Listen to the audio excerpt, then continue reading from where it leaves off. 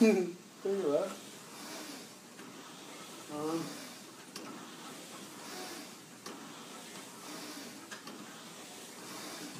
Rồi, đi rồi đi rồi chút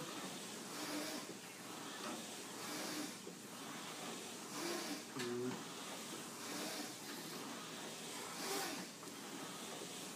It's a, it's a ring. The game has to be hung, no?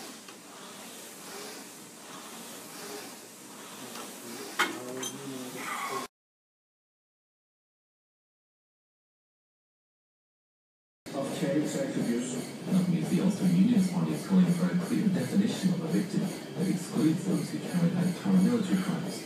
Storm and Alliance have been debating a motion proposed by the party. UUP said they don't want terrorists being treated in the same way as the people they left injured or bereaved.